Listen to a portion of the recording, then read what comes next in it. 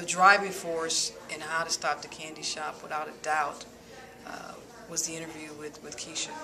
Uh, we didn't set out to try to uh, create this, this character or create, you know, the, the, the nucleus to shock people or anything. We just wanted to talk to someone.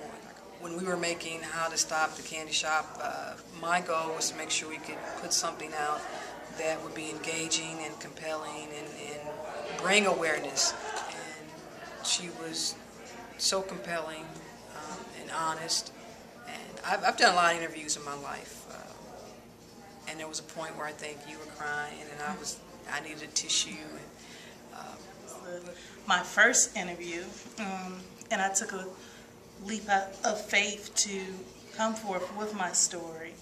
And you made me feel so comfortable, and that just speaks um, to your professionalism and to you as a woman of color and to for that connection because you can't always connect with people. And I just felt um, in a safe space in a safe place to um, just be honest and be real.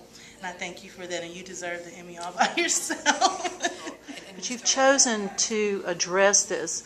What's what is it that you want to see come out of this and why is it worth it to you I'm just um, basically Martha just doing what God created me to do, and that was to be human.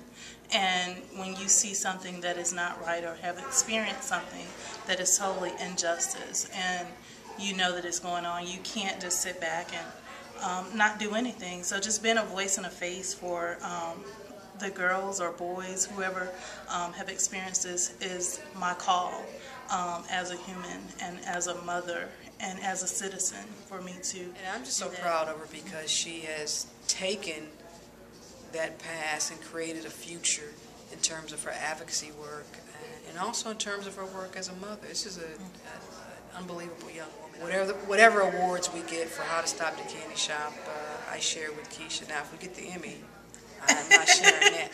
Rose, please. You're, you're fabulous. You really were. You're so awesome as well. Thank you, Mark. And you look good on camera. You both look good on camera. and you're looking mighty good to the kids you're helping. Okay, thank, you. thank you. you both.